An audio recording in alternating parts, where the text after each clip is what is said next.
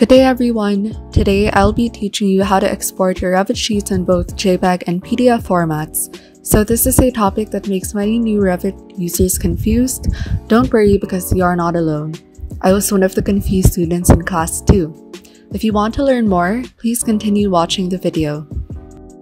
Exporting your architectural plans are really important, especially if you need to send them to a client or accomplish your plates in school. We also need to make sure that they are crisp and clear so that your client or teacher can see and read them properly, especially drawings with smaller scales. So here we have two sheets. We have the floor plans and we also have the perspective. So the first thing that I'll be teaching you is how to export these sheets into JPEG formats or PNG. So the first thing that you have to do is to make sure that your sheets are ready. You have all of your uh, drawings. Next, you go to the File tab and press Export and scroll down.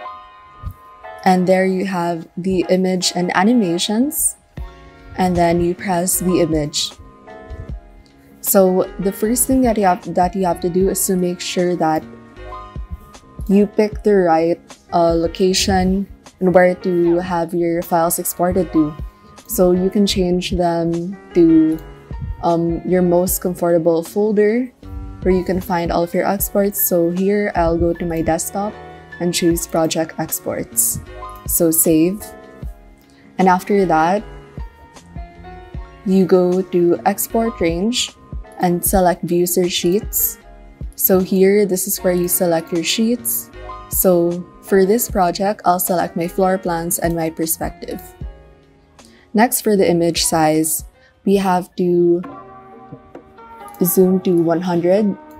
So the default is actually 50, but I already made it 100 a while ago. And in order for the pixels to, in order for the image to be very clear, you have to make the pixels around 10,000 to 15,000. Next, for the format, you can choose any of these. You can go for PNG if you'd like, but I'd like to go for JPEG lossless because for me, uh, the JPEG lossless is the clearest in my experience. After that, when you're done setting up everything, you press OK and it will just take a little while. So now let's go to the desktop and project exports and there you have all of your floor plans. So as you can see, it's actually clear and it's the correct size. So this is the scale because we zoomed into 100% a while ago in the image settings. So now I'll be teaching you how to export your sheets into PDF files. So there are actually two ways on how to do it. So first you go to File. You can either print or export it. So the first thing that I'd like to do is to go to Print and press Print Setup. This is to make sure that all of your that all of your sheets are correctly set up. So for the size, uh, you you can pick any size. So for my sheets, I picked A2. So uh, because my sheets are in the size of A2, and this is to make sure that it's the scale. So don't uh, press fit to page, press zoom so that it'll make it so that when it prints into a PDF, uh, we'll make sure that that the file is perfectly scaled. And for the orientation, it depends on your project. You can go for portrait or landscape, but mine is landscape. So then after that, you press OK. You can press yes if you want to save uh, these settings for the future Revit session, but I'd like to go for no. Then after you go to your print setup, you can print it. And you have to remember that you have to change from from your printer for the name of the printer you have to change it to Microsoft Print to PDF and then after that you have to make sure that your file location is the correct one. Then I'd like to combine multiple selected views or sheets into a single file because I don't want to have two different PDFs for one project. So next you have to select your views and you just select your floor plans and your perspective. And now you're ready to go.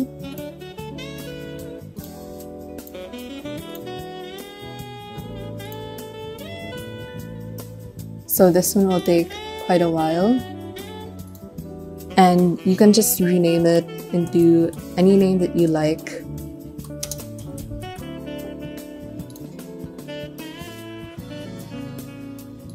So there you have it.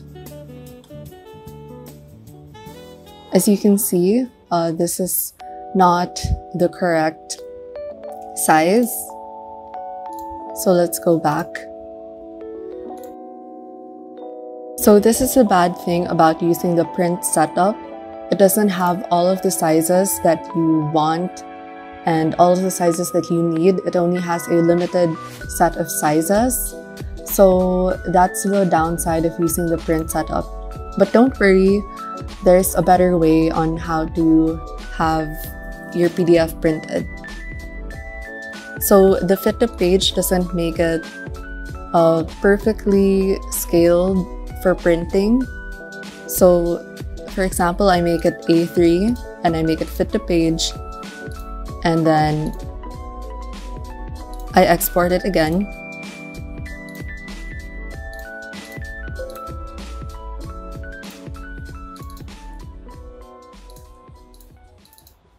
You can see that it's already pretty much okay, but then the borders are not correct.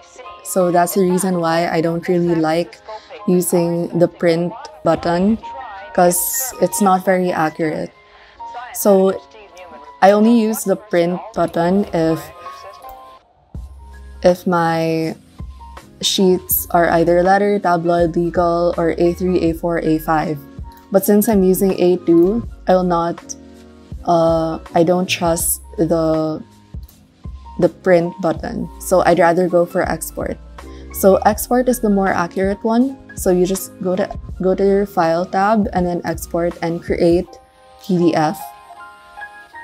So you you so you have to select your views. You have to press this pencil button and you can check or uncheck. So you have all of your views selected and you can change your file name here. And again, you have to click this, the combine selected views and sheets into a single PDF file and make sure that your location is correct. Next for the page size, this is what I like about the PDF export. It's because it has all the sizes that you need. It has A4, A3, A2, and A1, unlike the other print feature that it only has limited sizes. So for this one, I choose A2 and make sure that you zoom in to 100%. And you can either choose automatic or landscape or portrait. And for automatic, it will just detect it automatically if it's landscape or portrait. So next, I'll export it. It's ready for export. And it'll take a while to process. So there we have it and it's perfectly scaled. This is A2 so when you print it in your A2 printer or a printer that can print uh, bigger page sizes then it'll be perfectly scaled. And it's also very clear as well. So that's it for this tutorial. Thank you so much for watching and I hope that you enjoyed this video and learned something. Don't forget to click like and subscribe for more videos like this. Bye!